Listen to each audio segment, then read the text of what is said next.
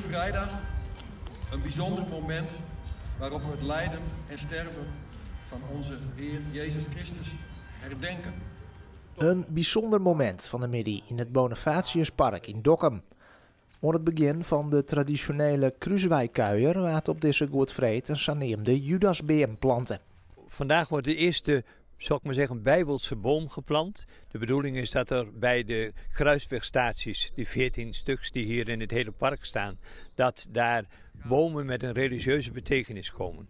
Dus de eerste is de Judasboom, want Judas heeft zichzelf natuurlijk verhangen uit spijt voor wat hij gedaan had. Dat is gisteren uit de Passion ook heel duidelijk gebleken.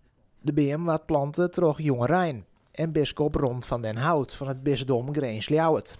Het is een logische plek om hier te zijn, omdat hier in uh, dit, uh, dit heiligdom, dit, dit de Bonifatiuskapel, er ook een kruisweg is, een kruiswegpark met kruiswegstaties, die hun oorsprong ook vinden in de, net na de oorlog.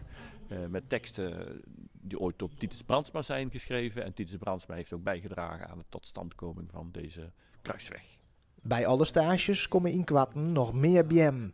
De komende tijd wordt het Bonifatiuspark verder opknapt. Het is niet in minder staat, maar het is wel zo van dat... Uh, ja, er waren bijvoorbeeld veel braamstruiken. Nou ja, dat is wildgroei. En die zijn nu opgeruimd. En het wordt eigenlijk door heel veel vrijwilligers en door een bedrijf wordt dat bijgehouden verder, het park ook.